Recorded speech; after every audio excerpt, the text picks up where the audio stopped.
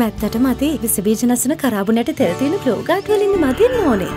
නව ලෝගාඩ් සල්ලි වලින් යටපත් වෙන තත්ත්වයක් තියෙනවා. ඉතින් අද නම් යටපත් වෙලා තියෙන්නේ මුදල් බලය ප්‍රභූ පැලැන්තිය මේ සියලු දේවල් මේකට සම්බන්ධයි. ඉතින් අපි කවුරුත් දන්නවා මිග්ඥානා ගනුදෙනුව ගැන ලියන්න ගිහිල්ලා සල්ලි ලීඩ පත්තරේ හිටපු ආරක්ෂක ලේකම් ගෝටාබේ රාජපක්ෂ මහත්මයාට BBC එකෙන් අහද්දි ගොඩක් කේන්ති ගියා.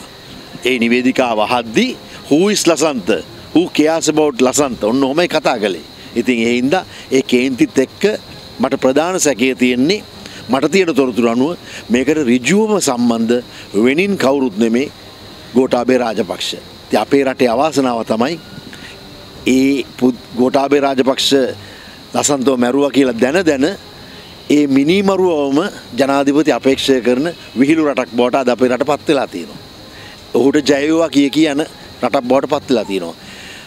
මේකට සරත් ෆොන්සකා මහත්මයාව ගාවන්න හදනවා. එතකොට මං එහෙම ගාවන්න හදන අයගෙන් අහනවා පහුගිය යුගයේම සරත් ෆොන්සකා මහත්මයා ජනාධිපති අපේක්ෂකයෙක් ලෙස ඉල්ලුවා. එතකොට මේක ගේන්න තිබුණා. ඔහුව නිකන් බයිනෝ කිලෝ ගෙනාවා කියලා කේසකට තමයි එතුමාව සිරගත කළේ. එතුමට මේ චෝදනාවට එතුමා වැරදින එතුමාව සිරගත කරලා මහින්ද රාජපක්ෂ මහත්තයලා තිබුණා ජනාධිපති අපේක්ෂකට ඉල්ලන කාලේ සරත් ෆොන්සේකා මහත්මයාව අනිවාර්යයෙන්ම හිරේ යවන්න. ඒ කියන්නේ මේකට සියලු දෙනා වක්‍රාකාරව ඍජුව බහුතරයක් සම්බන්ධයි. මේ දේ වෙන්න ඉස්සෙල්ලා සුමානකට ඉස්සෙල්ලා සොනාලිසා ලසන්තම ගෙනල්ලා රාජකීය වෛද්‍යවරයා වන ඒලියන් වයිට්ගෙන් කොන්දේ අමාරුවකට පේන් කියලා දෙන්න පවා මහින්ද රාජපක්ෂ මහත්මයා සූදානම් කරලා ඒක වීඩියෝ ගත කරලා තිබුණා. ඉතින් ලසන්ත ගියා ඒ ඩිනර් එකට. ඒ ඔහුගේ අන්තිම රාත්‍රිය රජතුමා සමග.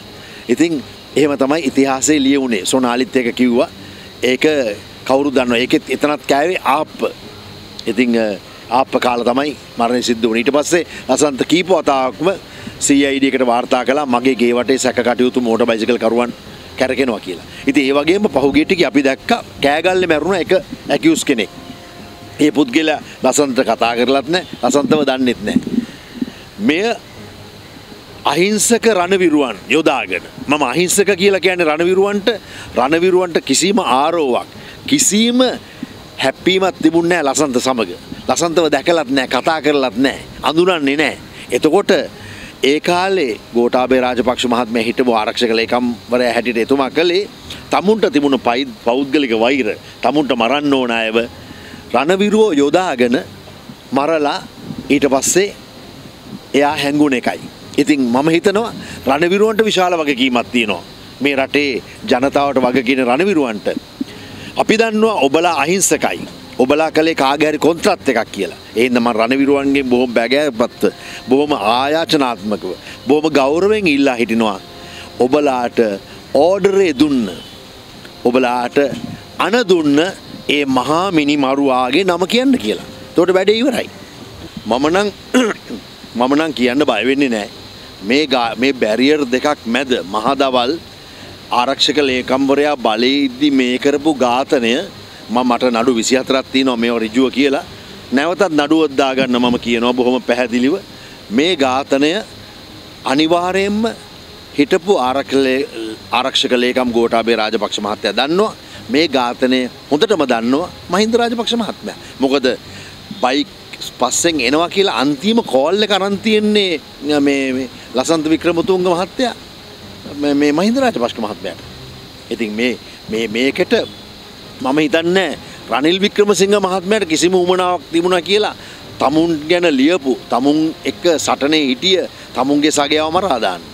එතකොට මම හිතන්නේ මෛත්‍රිපාල සිරිසේන වැඩ බලන හිටපු ආරක්ෂක ඇමත නියෝජ්‍යමතිවර හැටියට එතුමට උමනාවක් තිබුණා කියලා මේ මේ ලසන්ත වික්‍රමතුන්ග ඝාතනය කරන්න. ලසන්ත වික්‍රමතුන්ගගේ ඝාතනය ගැන හිතත් අපි හිතන්න ඕන ඔහුගේ විශාලම තර්ජනය ඔහුගේ විශාලම විවේචනයට ලක් වූ පුද්ගලයා කවුද කියන එක. එතකොට ඒ කෑගල්ල ඇකිවුස් නෙමේ. ඔහුගේ විශාලම විවේචනයට ලක් වුණේ වෙනින් කවුරුත් නෙමේ ගෝඨාභය රාජපක්ෂ මහත්මයා. එතුමා ගල්කිස්සේ උසාවියට ඇද්දී වාහනේ දාන්න දුන්නේ නැහැ ඇතුළට. අනිත් අයට. වෙනම වාහනය අරගෙන ලසන්ත ලොකු නඩුවක් දාලා වන්දියකුත් ඉල්ලුවා. ඒ හින්දා මේකට ඍජුවම සම්බන්ධ ඇකැන්නේ ජමාල් කගෝෂයගේ මිනිමරුව කවුද කියලා අපි දන්නවා වගේම මේ මිනිමැරුම කරේ වෙනින් කවුරුත් නෙමේ ගෝටාබේ රාජපක්ෂ මහත්මයා. ඕන්න නඩු දාන්න. අපි නඩුවට මම